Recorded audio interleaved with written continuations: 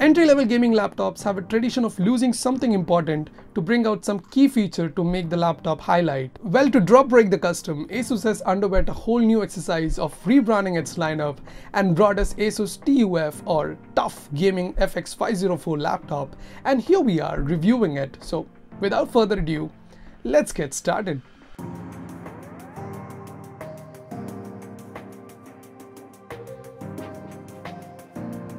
First thing first, the design. The TUF Gaming FX504 sounds tough, but it's not actually tough.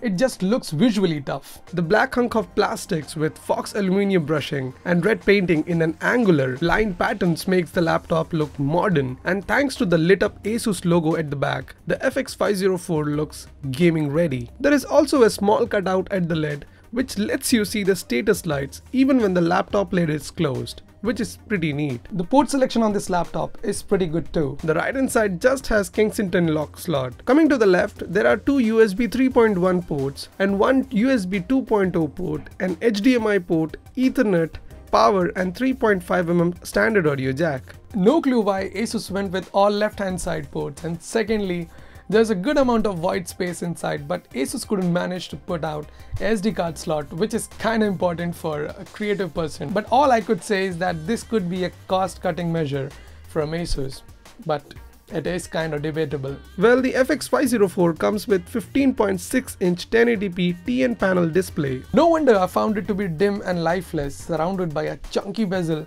which again hits sometimes while consuming content. But its 120Hz display is what kept me going Overall, it's kinda okayish, but I'm not very happy with the display.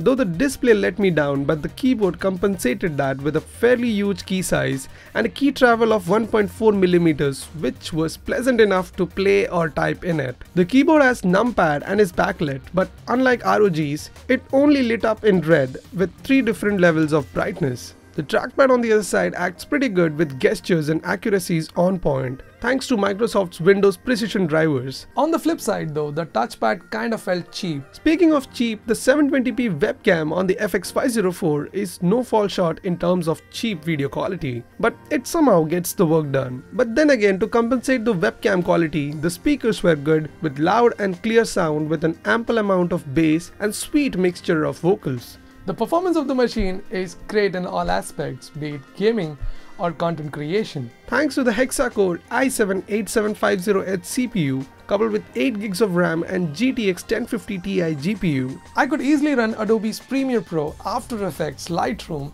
and Chrome with 10 tabs open without any hiccup. Although Chrome kinda hits sometimes, but it has its own resource management issue which is pretty common among all the laptops. The addition of 120GB SSD along with 1TB SSHD helps to boot the machine faster but I didn't find it to be significantly fast but gives out undoubtedly a better experience which is evident in daily usage. The gaming on this machine is great too, thanks to the GTX 1050 Ti GPU, which again won't tear through intensive games. The machine could easily render games at good frames per second and 120Hz display is kinda cherry on the top.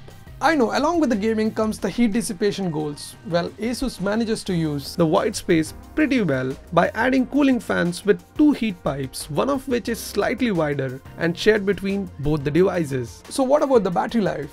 Well, in our testing, FX504 has endured 4 hours and 15 minutes with 70 to 80% of brightness, which is pretty good considering it's a gaming laptop. Well, with power pack internals and 120Hz display, that Asus TUF Gaming FX 504 is a great gaming laptop for the price you're paying. At the end of the day, the FX 504 offers a great value for money, which let alone will be convincing enough for most of the gamers out there. The Asus TUF Gaming FX 504 is priced at 85,900 as of now on Amazon.in. The direct link to buy this is in the description below. Definitely check out if you're going for one. Well, if you want an in-depth review of this laptop, it's right on our blog. Link in the description and card above. Definitely check out if you are into this laptop or going to buy one. So what do you guys think about this laptop? Do you have any query related to this one? Definitely let me know in the comment section below. That's it with this review. Hope you guys enjoyed and found this video useful and if you did, you know what to do. Like, comment and subscribe to this channel for more such videos and do follow us on all social media links again in the description below and has been scrolling of course you might have noticed it. Until the next one, this has been Atish from TechDipper signing off. Thanks for watching.